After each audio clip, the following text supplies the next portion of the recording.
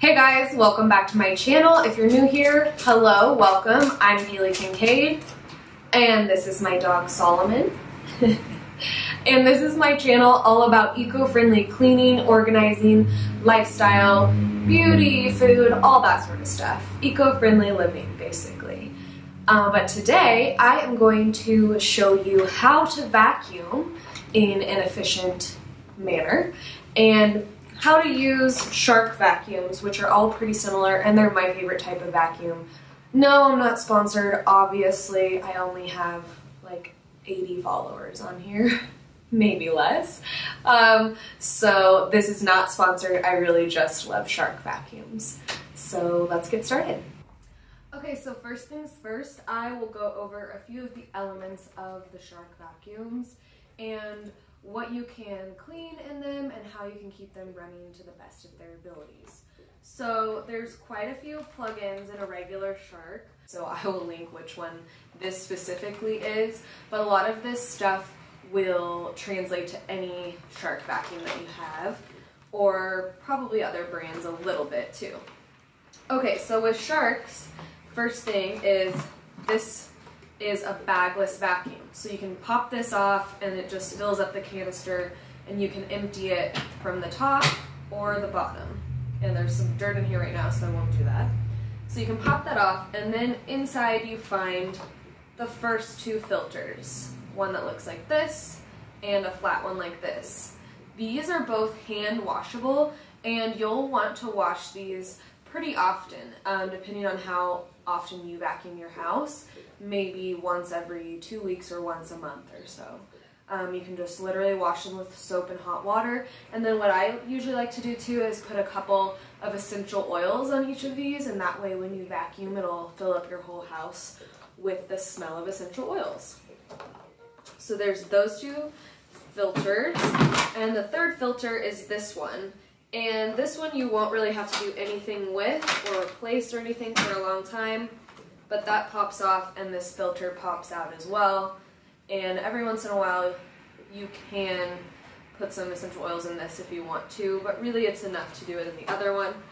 I try not to mess with this for as long as possible, but they do have those for sale if you need to replace it. So there's those three filters. And then this hose pops off so you can vacuum uh, like under couches like that or around corners with the long hose. You can also pop that part off and vacuum with this little guy or there's some attachments that usually come with this that you can vacuum with this little guy that pops off. This is also a good way if your vacuum sounds clogged or it's clogged and not sucking. You can pop this off, look through it to make sure that's not clogged, um, check and see where it's clogged in the hose, turn it on, and try to pop out whatever's clogged. Then this hose totally comes off here too, and most of the newer models of the Shark um, are electrically linked, so like if this is off, the whole Shark won't run, so that has to be fully plugged in. But I think that just pops off so that in case anything gets clogged right here, you can unclog that as well. So that pops off like that. And there's also a connection between this hose and this metal hose part, whatever you want to call it. So that goes in there like that. Then I also really like, excuse me, I also really like this model because it comes with this floor attachment and this works really well on hardwood floors. Um, I'll show you on the main vacuum there is a setting for hardwood floors, but this um, really does a better job. And you would just put it on the end like this and vacuum like that. So that's how that would work. Okay, and then another area that is important to clean on your vacuum is this under area where the brush roll is. As you can see, there's a bunch of hair and yarn, you know, chunks of carpets and stuff rolled up in here. What you can do is just take a pair of scissors and cut that and then pull it out because you don't want this brush to stop spinning. And if it's clogged up like this, then it's not going to be cleaning your floor as well either. Um, at the bottom of this, you can see it also unlocks. You can take a little a quarter or something and unlock these and pop this off because some dirt will get clogged in this little area sometimes. Um, and you can just clean it out like that. So that's kind of the inner workings of the vacuum. So now I will show you how to actually vacuum. When vacuuming, I like to, say I'm just going to vacuum this rug. I like to start at one end of the rug and work my way to the other side in a really efficient way so that I know that I'm covering the entire area.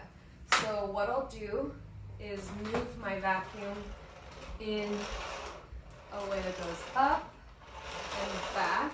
And when you go back, you kind of come at a little bit of an angle and you're gonna go straight up, back at a little angle, straight up. And that way, especially if your carpet leaves or has, especially if your carpet is able to have imprints of lines in it, this will leave a really nice pattern, triangle pattern throughout the whole rug. So I'll just demonstrate that.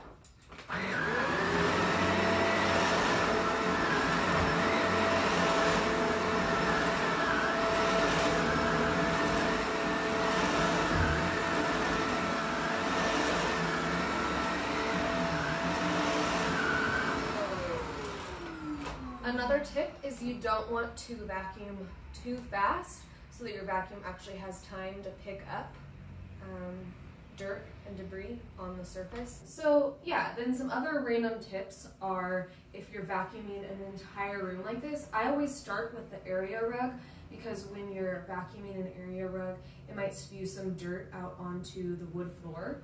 Um, so start with the rugs and then move to the wood floor. So in this room, say I would start and do this entire rug, then I would start at this end of the room and on the wood floor and then move myself out of the room.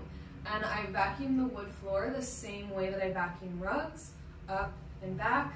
But as you can see on this and probably any other vacuum that you have has different floor settings.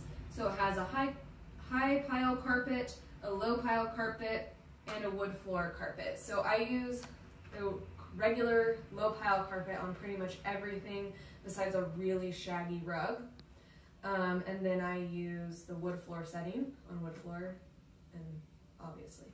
So yeah, you would just change settings between rugs and floors.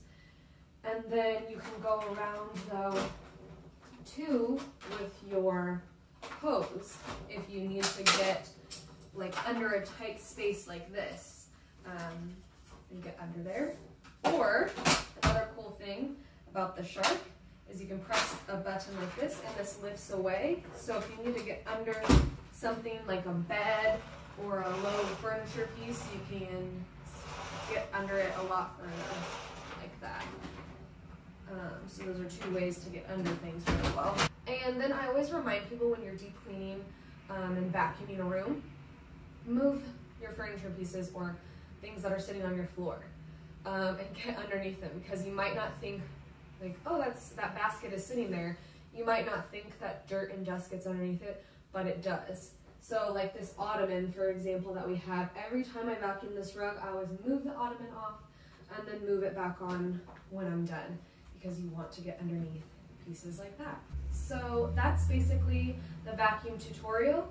Hopefully this helps you guys a little bit with some tips.